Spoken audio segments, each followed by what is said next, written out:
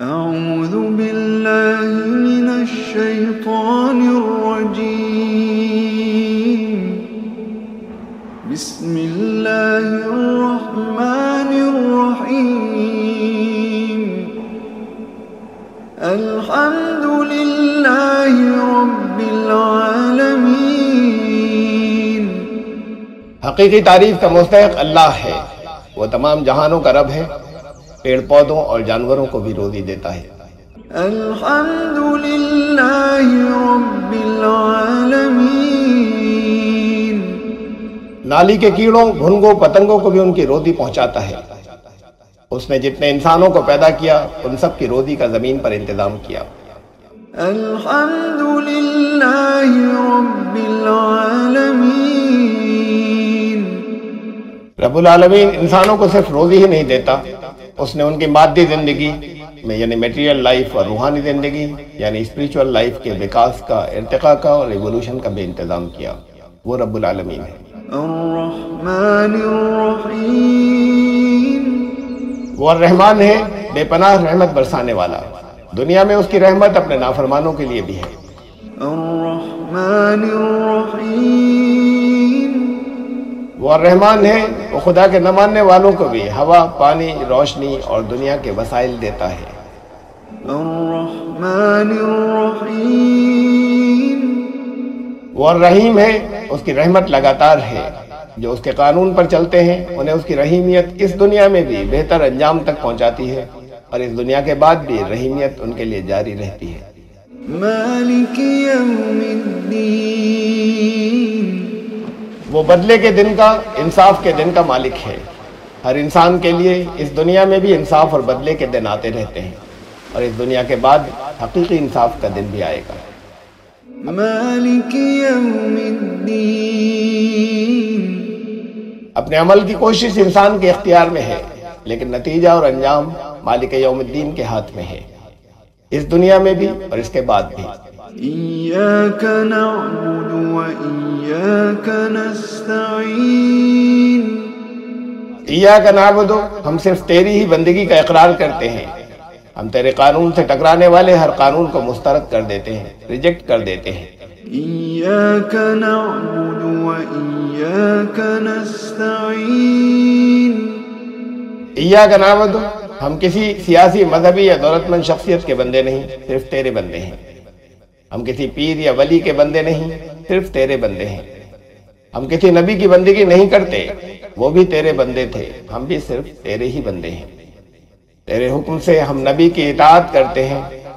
ہم کوئی ایسا حکم نبی سے منسوب نہیں کرتے جو نبی پر نازل ہونے والے تیرے کلام سے ٹکراتا ہے۔ وہ بھی صرف تیرے بندے تھے۔ ہم بھی صرف تیرے بندے ہیں۔ إياك نعبد وإياك نستعين. ایا کا نعبدو ہم صرف تیرے آگے سجدہ ریز ہوتے ہیں تیرے علاوہ کسی کو سجدہ نہیں کرتے۔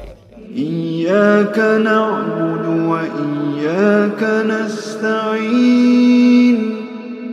وَإِيَّاكَ نَسْتَعِينَ اور ہم دنیا میں موجود لوگوں سے تعاون تو لیتے ہیں لیکن حقیقی مدد کے لیے صرف تجھی کو پکارتے ہیں۔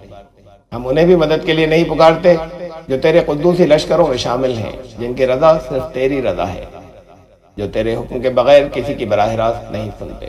إياك نعبد وإياك نستعين۔ وَإِيَّاكَ نَسْتَعِينَ۔ ہم صرف سے ہی مدد طلب کرتے ہیں۔ اے رب العالمین اے ارحم الراحمین اے مالک یوم الدین اپنے دین کی مدد کرنے میں ہماری مدد فرما۔ تیرے دین کی دعوت کے لیے ہم تجھ سے مدد چاہتے ہیں۔ تیرے کلام کی اشاعت میں ہم تجھ سے مدد چاہتے ہیں۔ اهدنا الصراط المستقيم۔ ہماری اس سیدھے راستے کی طرف رہنمائی کر جو سب سے سیدھا اور شارٹیسٹ ہے۔ دین کے دعوت کے کام میں ہمیں اسی سب سے سیدھے راستے سے لے چل اهدنا الصراط المستقيم۔ دین کی دعوت کی پلاننگ میں ہماری رہنمائی کر اپنے کام کو سمجھنے اور اس پر غور و فکر کرنے میں ہماری سب سے سیدھے راستے کی طرف رہنمائی کر۔ اهدنا الصراط المستقيم۔ ہمارے دنیاوی کاموں کی پلاننگ اور ان کو کامیابی تک انجام دینے میں ہماری رہنمائی فرما۔ اپنی تمام جائز ضرورتوں کو پورے کرنے کے لیے ہماری کوششوں میں ہماری رہنمائی کر۔ صراط الذين ان لوگوں کی راہ کی طرف رہنمائی فرما جن پر تیری نعمتوں کی بارش ہوئی جو دنیا اور آخرت میں کامیاب ہوئے غير المغضوب ولا الضالين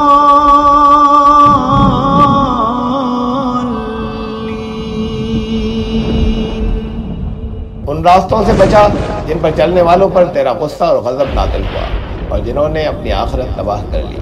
غير المغضوب عليهم ولا الضالين.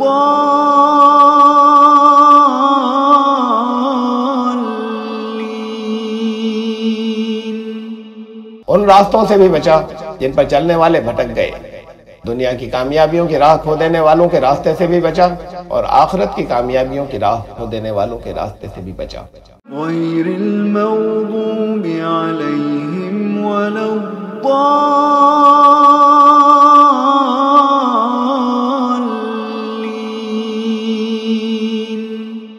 ان راستوں سے بھی بچا جن پر چل کر لوگ دنیا میں ناکام ہوئے ان راستوں سے بھی بچا جن پر چلنے والے آخرت میں ناکام ہوں گے۔ غير المغضوب